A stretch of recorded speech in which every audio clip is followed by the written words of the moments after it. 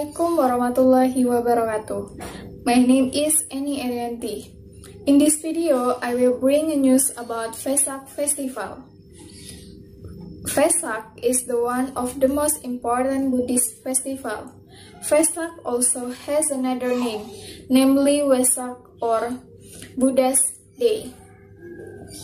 Vesak is a celebration of Buddha's birthday. And for people, Vesak is sign of enlightenment from Buddha when he finds meaning in life. A Buddhist will reflect on the Buddha teaching and what does it mean to be a Buddhist on Vesak Day. In various countries, Vesak Day also celebrated, such as Visakha Puja or Buddha Purnima in India. Saga Dawa in Tibet, Vesak in Malaysia and Singapore, Visakha Bucha in Thailand, and Vesak in Sri Lanka. Vesak is the holy day of Buddhism. Vesak is celebrated to commemorate three important events. These three important events were later called Tri Suci Waisak. There are the first, the birth of Prince Siddhartha. Prince Siddhartha was the son of King Suddhodana and Queen Mahamaya. Siddhartha was born in a garden named Lumbini at 623 before century. Siddhartha was born into the world as the future of Buddha, who would attain the highest happiness. The second, Prince Siddhartha attains the great enlightenment at the age of 35 Prince Siddhartha attained perfect enlightenment and became a Buddha in the Buddha Gaya during the month of Vesak. The third is the death of Buddha Gautama. Buddha Gautama died in Kusinara at the age of 80 and 5 in 543 before century.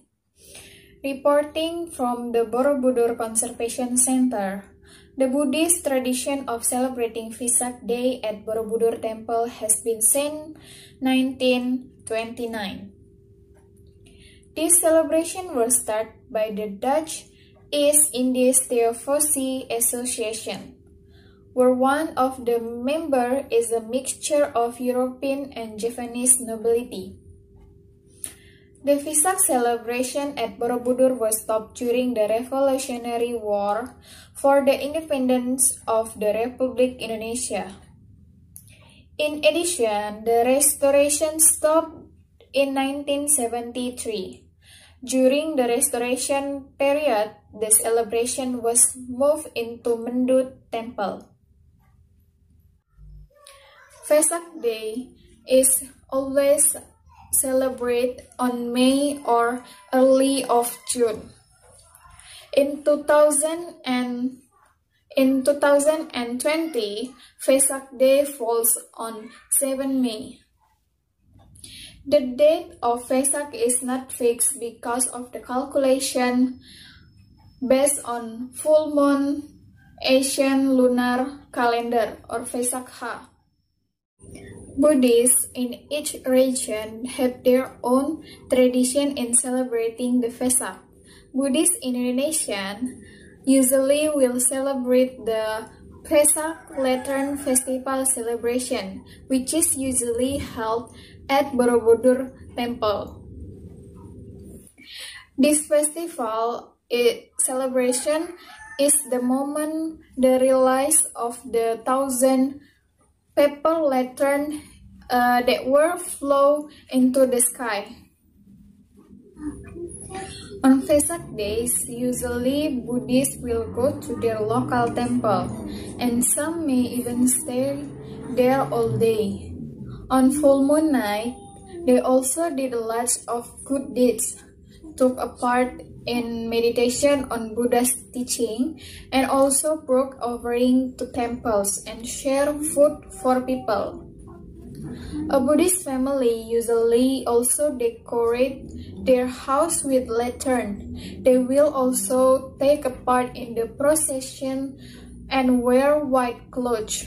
Buddhists also usually perform the bathing the Buddha ceremony on Vesak Day.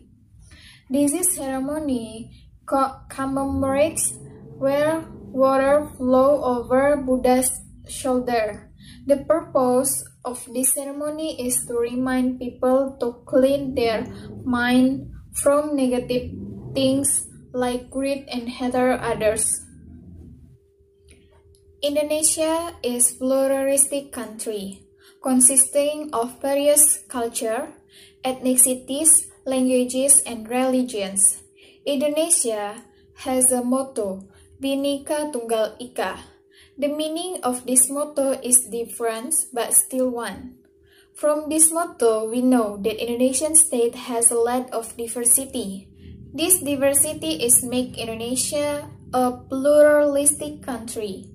In particular, the diversity of religion that they have, such as Islam, Christianity, Hinduism, Buddhism, and others. What is certain is that they have different views from one another's. Therefore, they need from tolerance between religious communities in order to become a safe and peaceful country. Okay, that's all about my news that I can convey today. Thank you for your great attention. Stay safe, stay healthy, and of course stay at home. Uh, I said, wassalamualaikum warahmatullahi wabarakatuh.